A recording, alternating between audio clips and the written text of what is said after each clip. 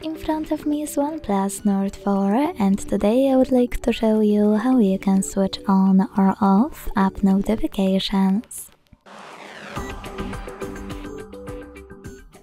Begin by going into settings and scrolling down to access notifications and status bar. Then scroll down again and click on manage all next to app notifications. Following that, using blue switchers next to your apps block all notifications from them, and by tapping on grey ones, switch them back on. You can also go back, select any app over here and manage all notifications thanks to this switcher next to allow notifications.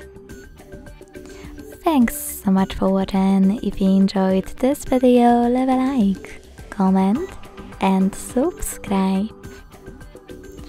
Bye!